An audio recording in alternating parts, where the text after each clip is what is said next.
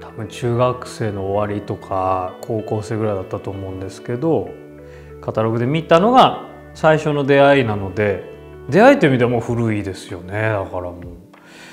えー、85年から6年の1年間しか作ってなかったみたいな。で日本で作って、え、輸出してたモデルぐらいしか多分書いてなくてですね。忍者浅草寿司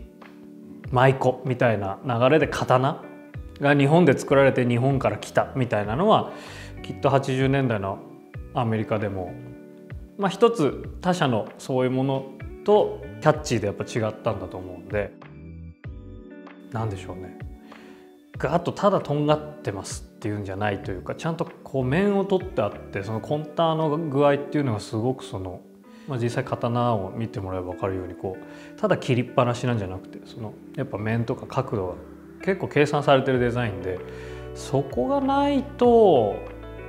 多分惹かれなかっただろうなっていうぐらい改めて見るとそこにすごくその技というか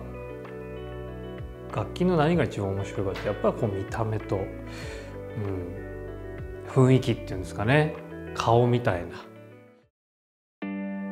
まあ、今回シグネチャーモデルということで、まあ、これが出せたら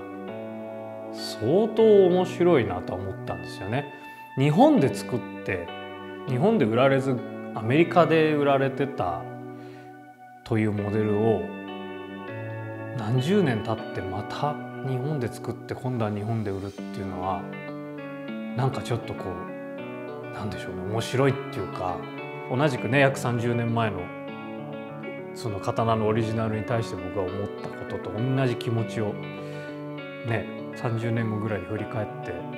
思う人が多分たくさんいると思うんで今からすごい楽しみだしやってやったな感ありますけどねとってもはい。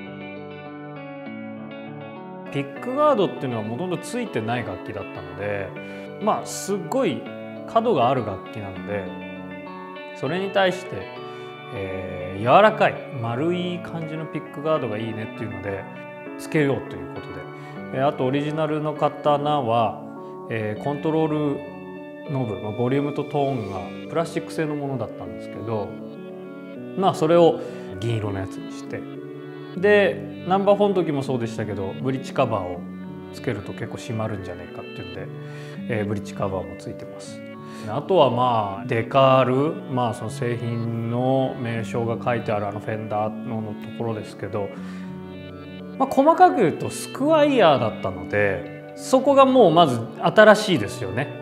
あのフェンダーなので今回は。重要なのはそのフェンダーであれオリジナルのスクワイヤーであれその下にあの唾のついた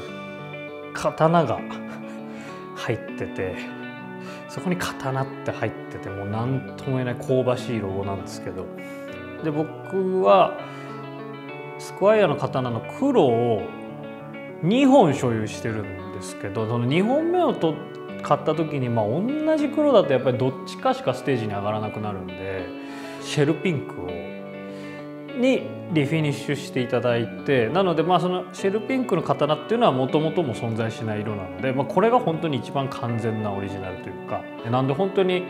いい具合にオリジナルのものと僕が携わった要素とっていうのが入ってるようなバランスになりましたね。うん世にあふれる楽器って基本的にもうフェンダーの形とか、まあ、既視感のあるものが基本的に多いと思うんでそれを自分が持った時にどういう風になるかとかってのは多分大概みんな想像できると思うんですけどこれに関してはやっぱりなかなかみんな免疫がないのでお手本にするのは多分僕ぐらいしかいないんですね写真とかも。ってなってきた時に僕がすごい楽しみにしてるのはこうどんな人でももちろん嬉しいんですけどみんながそのどういうふうに刀を持ってどういう音楽をやるのかそれはコピー版でもいいしオリジナルでもいいんですけどそれがね本当に見たいですね。ここからその刀を持って音楽をやるという形がどんどん世の中に増えていくっていうことなんで、ま、そのいろんな人が使うどう使うかっていう可能性を見てみたいなっていうのが一番なので